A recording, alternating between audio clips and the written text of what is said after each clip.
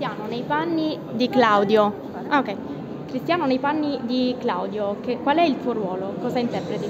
Allora, io interpreto questo, questo personaggio che appunto inizia un percorso di transizione, di, di cambiamento e, e, non si riconosce più in quel corpo.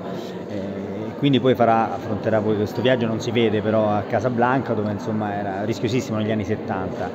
E quindi un ruolo nuovo, anche per me strano, di, di, di, difficile non tanto per, per, per nel senso per la recitazione in cui alla fine non è, non è, così complicato, nel senso io ho recitato rapporti che c'erano, cresce questa bella amicizia con eh, Andrea Pennacchi eh, che passa poi tramite gli scacchi, eh, quindi è una cosa molto delicata e carina.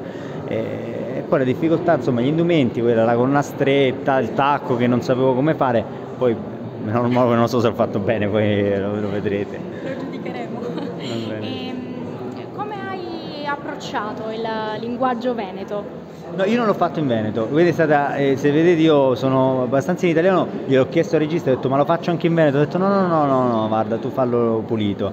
Invece dove gli altri hanno fatto un lavoro pazzesco sul Veneto, mi, mi dispiace non averlo fatto, però poi eh, Luca mi ha detto no no guarda non mi interessa questo, preferisco che tu faccia pulito in italiano. Cosa ci fanno due cassaforti nel deserto? Uh, che combinazione! Com'è stata l'esperienza allora? È difficile, che sembra molto più semplice, a casa ti sembra pure tutto divertente così, da dentro è un po' più complicato, però eh, ci siamo divertiti, poi avevo un gruppo, devo dire, mi hanno aiutato tantissimo anche perché ero l'unico non comico.